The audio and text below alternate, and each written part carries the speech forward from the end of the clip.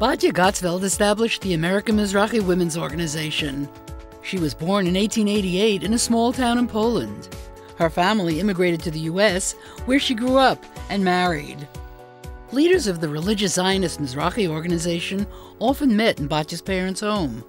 Batya listened to the men talk about establishing a Jewish homeland in the land of Israel and asked other women to join her in helping realize the Zionist dream.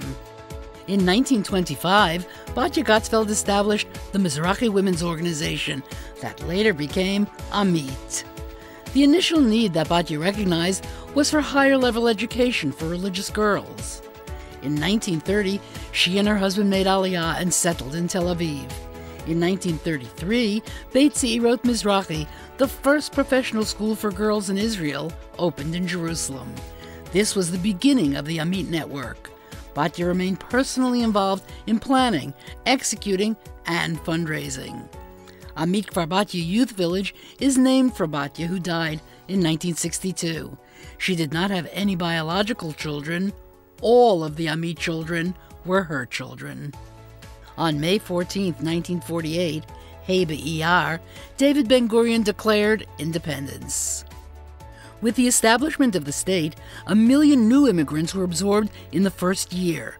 Holocaust survivors came to Amit, Kfar Blat, and Kfar Batya youth villages, where they were nurtured and cared for. Amit continues to this day to provide homes for children in need. Amit Kfar Batya was the first institution that believed in integrating children from different countries. The Mishpachton was developed as a model to instill family values and Jewish traditions. The rich experience that Amit acquired over the years continues to influence its approach to immigrant absorption. Commitment to Klal Yisrael. Can Haredi, secular, and religious Zionist schools work together within one network? There's a long standing debate facing the religious education system in Israel. Should or shouldn't the religious Zionist system accept all students who wish to study in its institutions? Since its beginning, Amit has chosen to include a variety of different educational tracks Ulpanot, technological high schools, Hesder Yeshivot, and more, each providing educational frameworks for students from various socioeconomic backgrounds and educational levels. School as a Beit Chinuch. Dr. Amnon Eldar, Director General of Amit since 2003, has always been part of the Amit family. His mother, Nitzchia, founded the Young Mizrahi Women's Home in Beersheba and was the director of Beit HaYeled in Jerusalem. Dr. Amnon is attuned to the ever changing needs of education in Israel. Dr. Eldar led an educational revolution by changing schools to Batei Chinuch. A school, as a Beit Chinuch, provides values and a way of life through a process of meaningful dialogue, open conversations on one hand, while setting boundaries on the other. Amit emphasizes Torah, Zionism, and educational excellence. We began back in the 20s of the last century when one woman asked, If I am not for myself, who will be for me? and decided to establish an educational institution for young women. Today, Amit educates more than 30,000 girls and boys in over 110 schools all over Israel.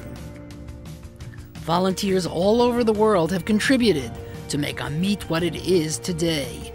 You can be a link in that grand chain of generations in Amit. Now that we know where we've been, let's take a look at where we're going next.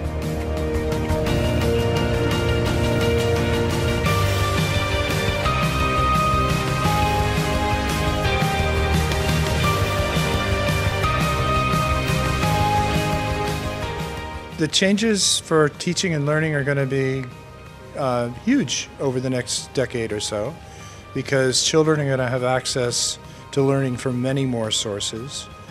But we shouldn't lose track of the idea that teachers can still have a major impact on the learning of children and on their lives.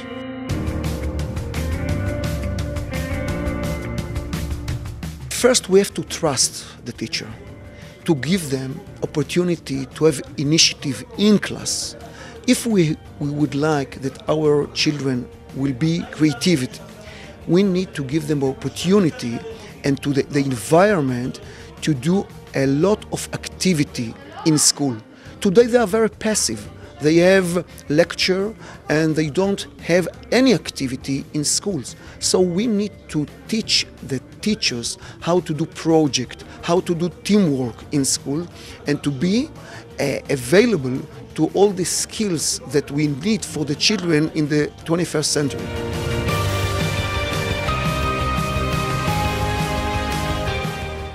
I can tell you that it's a culture change. It's not simple at all.